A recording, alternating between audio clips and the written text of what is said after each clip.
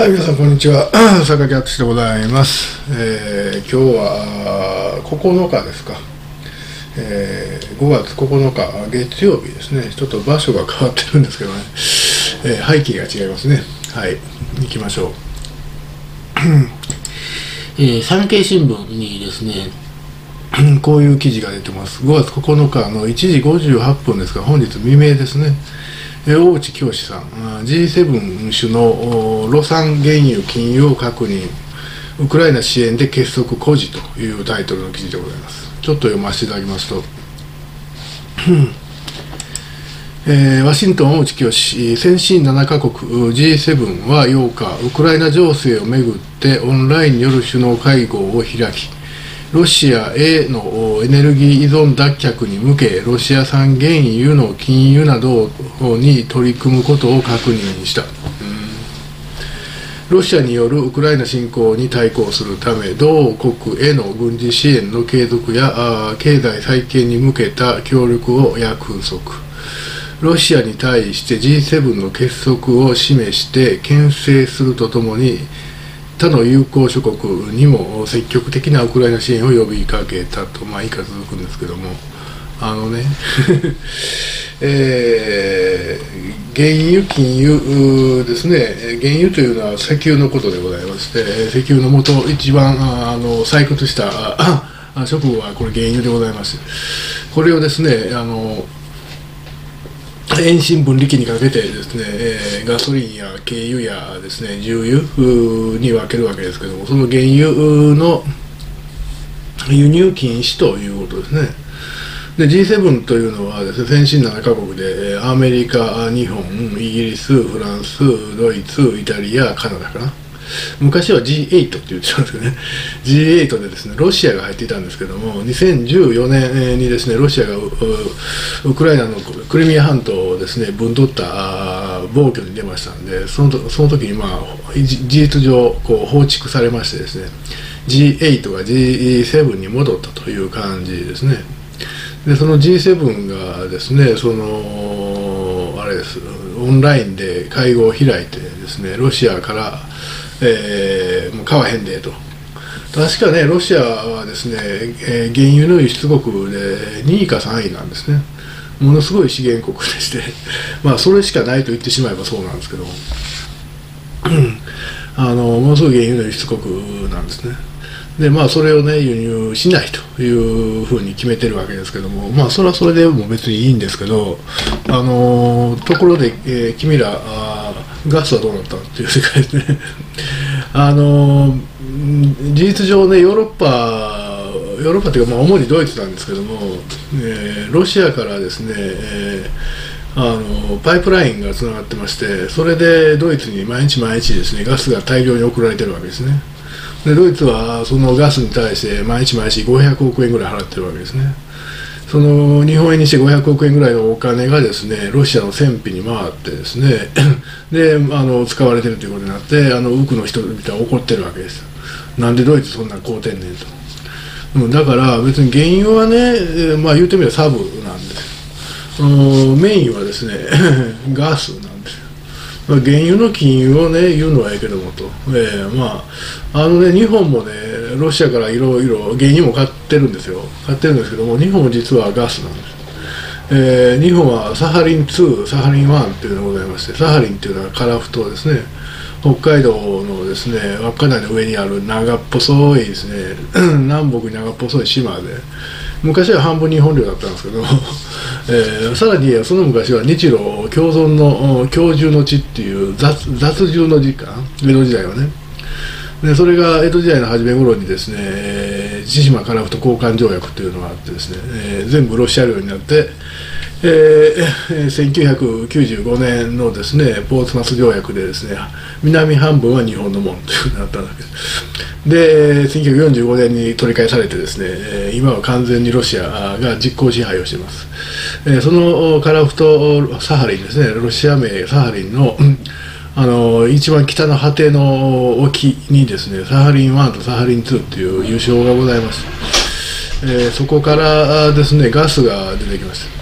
日本の商社であるですね三井物産とかですね 丸紅がそこに権益を持っておりましてでそこで採掘したガスをですね船で日本に運んできてるということです。で非常にねあの近いからですね あっという間に日本に着くんですね。もうもう二晩かからないというぐらいの距離らしいですね。えー、実はそこから日本はガスを買っているわけです。事実上ロシアから買っているわけですね。でロシアの輸出エネルギー輸出の主なものは実は原油ではなくてガスなんですね。でそれは G7 の一員である日本も買っているわけであって、えー、まあ、あの日本も、ね、原油も原油も買ってますんで、そこからサハリン1、サハリン2から。なんで、それをね、えー、止めるっていうのはまあ確かにまあ一つなんですけど、ガスはどないなってっていう話ですね。えー、あのガスを止め、原油を止めてね、ガスを止めたらね、まあ、それなりに効果はあります。えー、効果ありますけども、実はそれだけでもよろしくないですね。だって、えー、G7 が原油買わなくなって仮にガスもねドイツは今年中年内に買わなくするって言うてるんですけど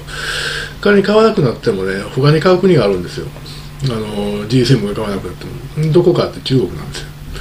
えー、中国ってなかなかあ あのなんて言いますか、えー、うまく立ち回ってましてですね、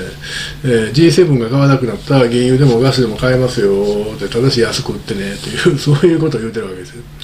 えー、ですので、中国はですね国際価格よりも安くですね原油を仕入れることが、原油もガスも仕入れることができるんで、えー、こういうニュースが流れて、ですね俺らロシア困るやろと、みんな思うかも分かりませんが、実はそんなに困らない、実はそんなに困らないわけですね。でそそれもですねさっき申し上げた通り、原油は買わなくても、ガスを買ってるわけであって、ガスはいつ止めんねんって話ですね。えー、ドイツは年内に止めると言うてますけども、ほんまに止めんのまあまあ止めてもいいんですけど、えー、ノドルストリームっていうですねあのパイプラインがわーっとですねこうロシアに行ってるわけですね。でその2番目のもですねもうできててですね中にガスが詰まってるんですけどもこの2月24日のこう以後の出来事でですね、えー、それはもう稼働させていないわけですね。でロシアもなぜかですねあの原油売ったら変とかガス売ったら変とか言うんかなと思った 実は西側はそれを恐れていたわけですよ、うん、そんな制裁経済制裁するんやったら ロシアがですねお前らには売ったら変って言うのかなと思ったらですね。全然言わない。全然言わない。であのちゃっかりですね原油もですねガスも売ってですねちゃっかりこうその代金をですねドルなりユーロなりでこう支払われてるわけですね。でそれがロシアのですねあのウォーの費用になってるわけです。まあね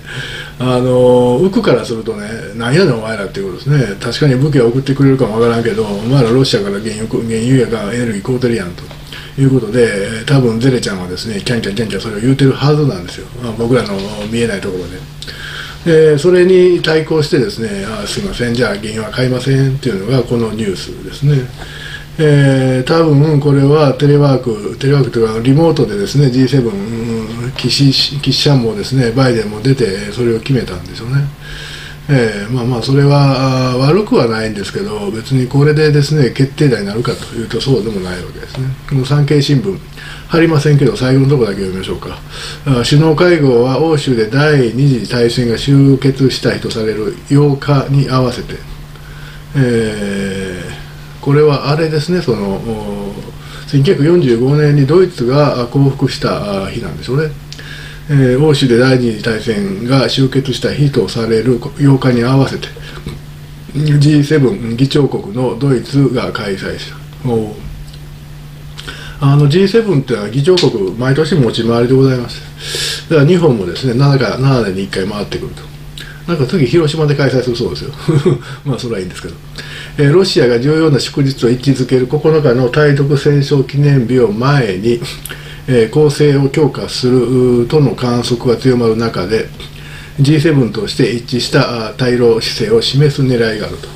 まあ簡単に言うてみればねその石油の金融ぐらいしかこの G7 が結束できなかったということですよね。ガスの金融石油ガスの金融とはそれインパクトあるんですけどまあまあ石油だけはなんでやめとこうとかって そういうたんちゃうんかなというニュースでございますね。えー、今日からまた新しい週が始まりますので、こういった動きがですね次第にこういろいろ出てくるのかも分かりませんね。今はまだですね、私が今これ撮影してる時点で9時前でございまして、東京空いておりません。えー、今日はこの動きに合わせてですね、どうなるのかと、えー、時間外、えー、っと、私が今見ているサイトではですね、原油先物はですね、109ドル 上がってるやんみたいな 感じですね。えー、あの